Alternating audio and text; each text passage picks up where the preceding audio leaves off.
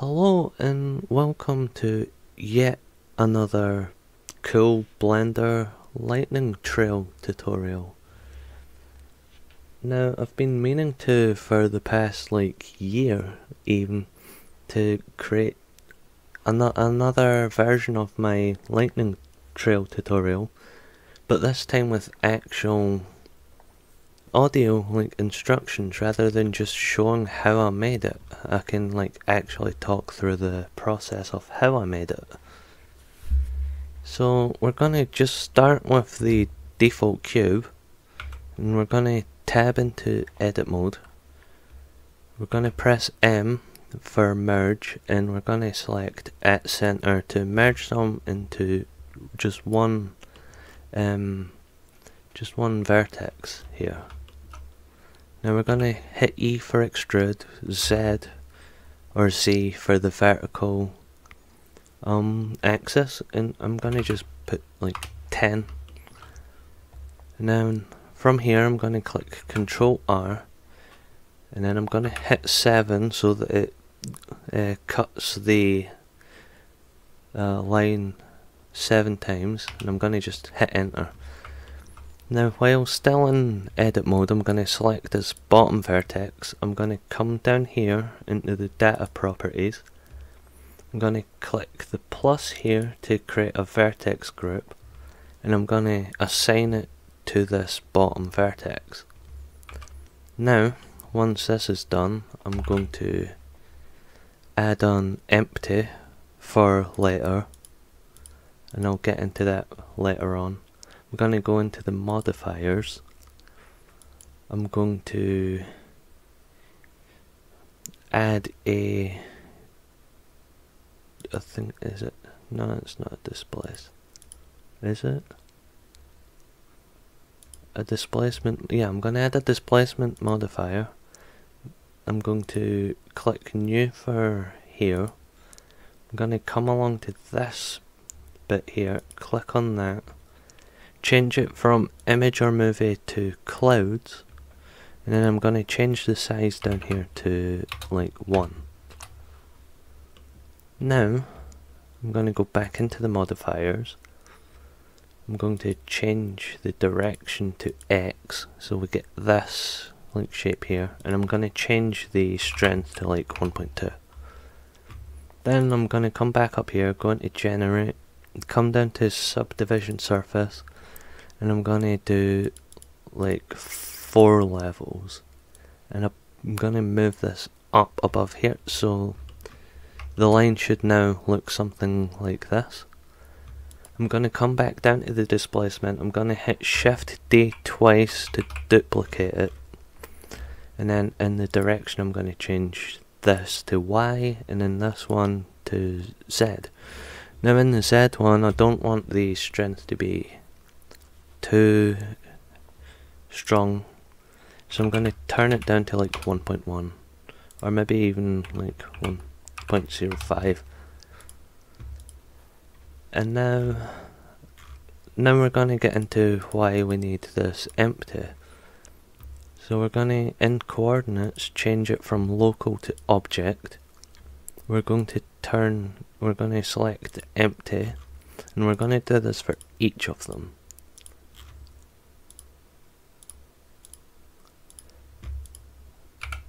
Now when we move the empty I'll change the displacement on the object here. But that's not all we're going to do because we, we do want like a focus for the lightning point. So we're going to, in uh, vertex group, select the group that we created in here earlier for each of these. Now, yeah, it might look strange, so we might have to um, invert it here for all of them. So that way, there we go. So now the lightning should just focus on the one particular spot down here rather than the bottom also changing as well like the top here like yeah So now once we're done with that, we're going to select the object again. We're going to go into modifier and we're going to add a skin modifier in the generate section, which should give you this. Now we're going to go back into edit mode. I'm going to hit shift Z for the wireframe mode and I'm going to select the bottom vertex. I'm going to go up to proportional editing and turn that on. Now rather than scaling it with S, we're going to scale with Control A. Now we're going to use the scroll wheel to change the like radius of the proportional editing and I'm gonna just I'm gonna scale it in by like 0.1 and I'm gonna select the top one and do the same control A and I'm gonna go by like maybe 0.2 2 or 0.15 to give the top like a thicker so it's like a slightly thicker slightly thicker up the top than it is in the bottom. Like it's more focused at the bottom. Now that should just that should be that. Now we've created this lightning.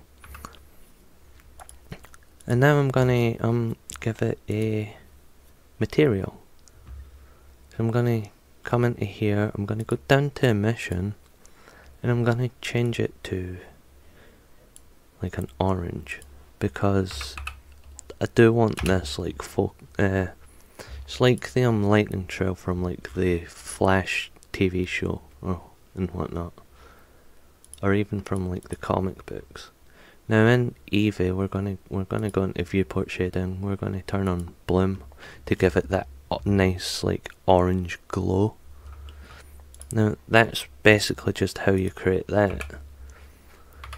But I'm not gonna stop there because I do want to show something else. Now I'm gonna import a Lego minifigure and I'm gonna like show how to like attach the lightning to the like a character. So I'm going to uh, bring in the Flash. Hopefully it will load up. Now hopefully, because I did do a tutorial before on um like posing the character, I'm gonna I hope this works. Oh it's frozen. Okay, right. I'm gonna scale it to like point two. I'm gonna bring them down. Then hopefully, if I add this, ah, I see. Okay. Ah, okay, it's not gonna work like that. Okay, so, um, Blender crashed on me while I was trying to scale him back up, so I would not recommend that. I'm gonna select his head, his body, the legs, and the like torso, and hands. I'm gonna apply a rig to the character. I'm gonna parent the head to the object. I'm just go going through this quickly because I've already done a video on how to like do the rig. Gonna just like move his legs. Gonna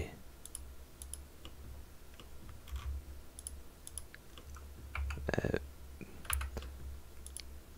gonna like bend him slightly so that it looks like he's running. Gonna do that arm forward, this arm back like that.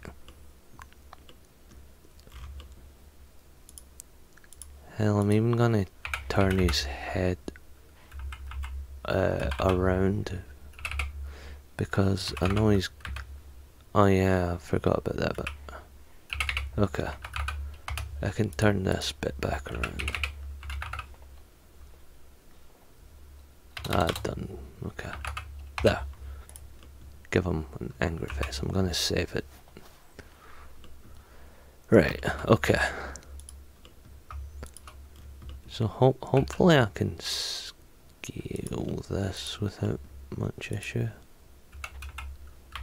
Nope, no can do. Okay.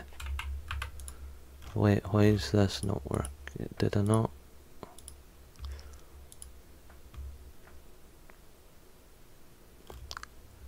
Why is there two empties?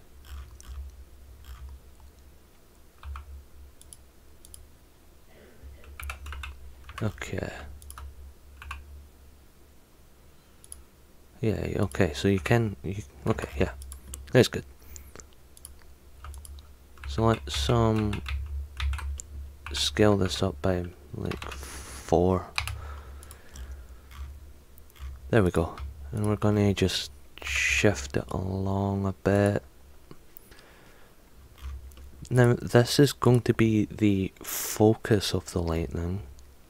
So the bit we want to attach to the character is this, the top part. So I'm going to just hide that. I'm going to rotate this this way. So 90. So now when you move this, the lightning moves with it. Now I'm just going to, I'm just going to move this because we do want different shaped lightning. Oops. Now if you move the whole thing and duplicate the whole thing, it's it's going to be the same lightning coming off the whole time. So we're just going to move the one bit.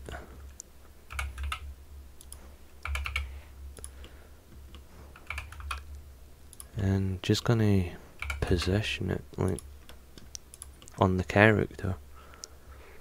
And we're to just duplicate it and move it so now like they've got like different shapes I'm just gonna like move this like down a bit.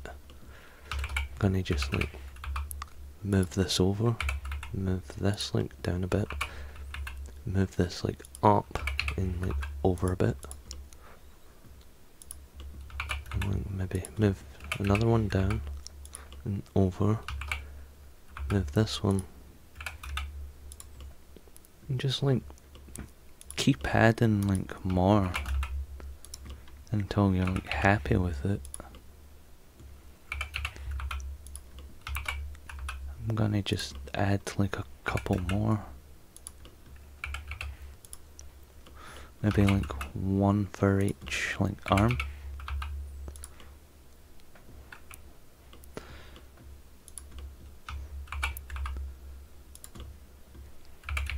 Something like that. so yeah we can have something like this. Like, and like, you can like maybe scale it along, make it even longer, but this is all I'm gonna have for now.